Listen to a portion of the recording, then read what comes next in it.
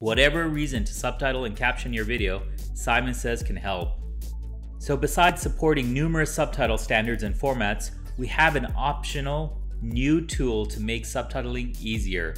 It's called the Visual Subtitle Editor. You can still just export right to a subtitle format, but now you can preview how subtitles look in this new editor.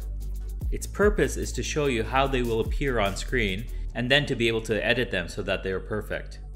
If you want speaker names to appear in the subtitles, you should label them in your transcript first.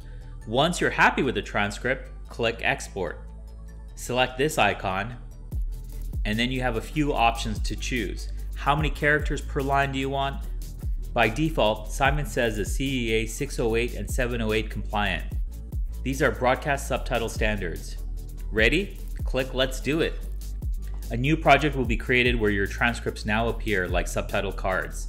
Each word has timecode attached to it, and so the start and end times of the subtitle cards is predetermined by the first and last word in that subtitle card. Each section is a subtitle card. You can create new subtitle cards by clicking enter or combine cards by clicking the backspace button.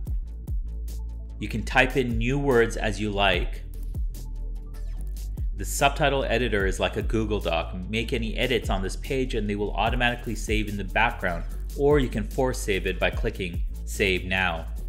You should check out the keyboard shortcuts by clicking the question mark icon on the toolbar. Once you're happy with this all, click export and then choose that subtitle format that you need, such as SRT subtitles, or if you're exporting to Facebook and YouTube, choose this. Or for an extra cost, you can burn the subtitles right onto the video with this option. This is super helpful if you want to force subtitles to appear. An example is if you're posting to Instagram, Instagram doesn't have a caption on off option, so burn in subtitles is the way to go. So, now you're an expert on the visual subtitle editor.